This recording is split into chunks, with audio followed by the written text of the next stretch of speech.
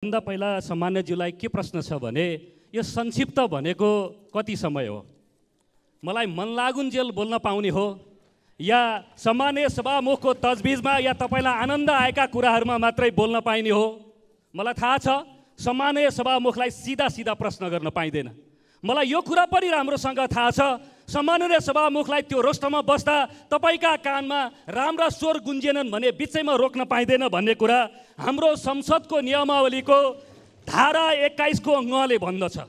म प्रमुख प्रतिपक्षका मान्य सदस्यहरूलाई एकचोटि हाम्रो धाराको एक एक्काइसको न बुधा एकचोटि श्रवण गर्नका लागि अनुरोध गर्न चाहन्छु।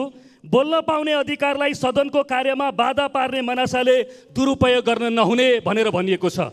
अहिले भर्खरै मान्य राजन केसीले आफ्ना कुरा राख्दै हुनुहुन्थ्यो। मान्य राजन केसीले नियमापत्ति हुने गरी बोल्नु भएको हो भने तपाईँहरूले नियमापत्ति गरेर आफ्ना कुरा शानदारपूर्वक राख्नु पर्दो थियो।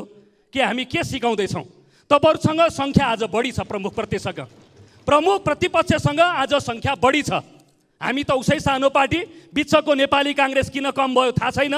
तपाईँहरूसँग सङ्ख्याको बल छ भन्दा बित्तिकै बेसकेरी ध्यापध्याप गरेर हाम्रा स्वरहरूलाई कुण्ठित गर्ने यही हो लोकतन्त्र। यही हो प्रमुख प्रतिपक्षले हामीलाई सिकाउन खोजेको कुरा।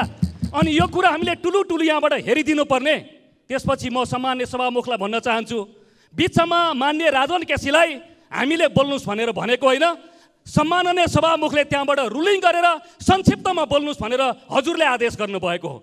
सुरुमै प्रमुख प्रतिपक्ष उठ्दा नउठ्दै तपाईँले कुन नियमावलीमा टेकेर यो रुलिङ गर्नुभयो र हामी कुन मनोबलका साथ यो संसदमा बहस गर्ने हामी कुन मनोबलमा जनताका आवाजहरू यो संसदमा घन्काउने मलाई लाग्दछ आजको घटनाक्रम निकै संवेदनशील छ। यसलाई गम्भीरतापूर्वक लिउँ। भर्खरै मान्य ज्ञानेन्द्र साईले भन्नुभयो संसद चल्दैन नचलाउनुहोस् केही छैन।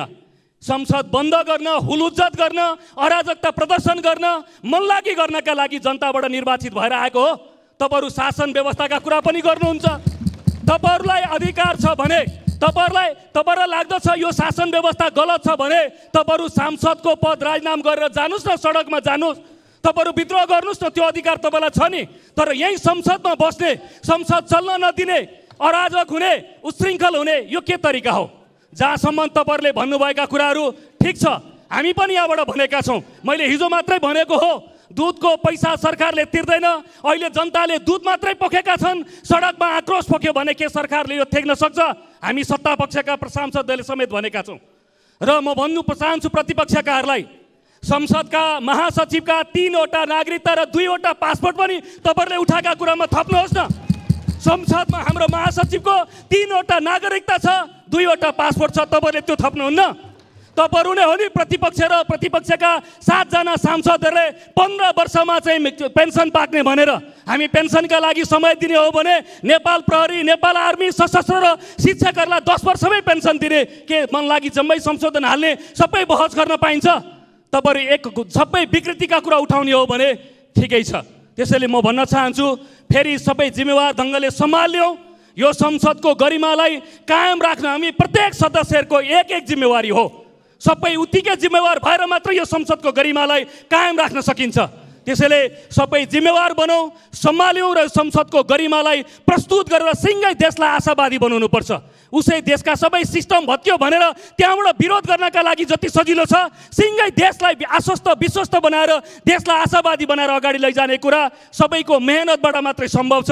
म फेरि अन्तिममा सामान्य सभामुखलाई भन्न चाहन्छु यो संक्षिप्त भनेको के हो?